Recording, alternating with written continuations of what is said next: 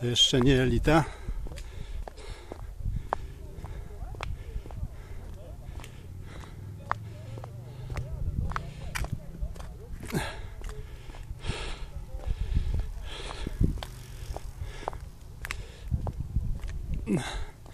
Tu jest meta.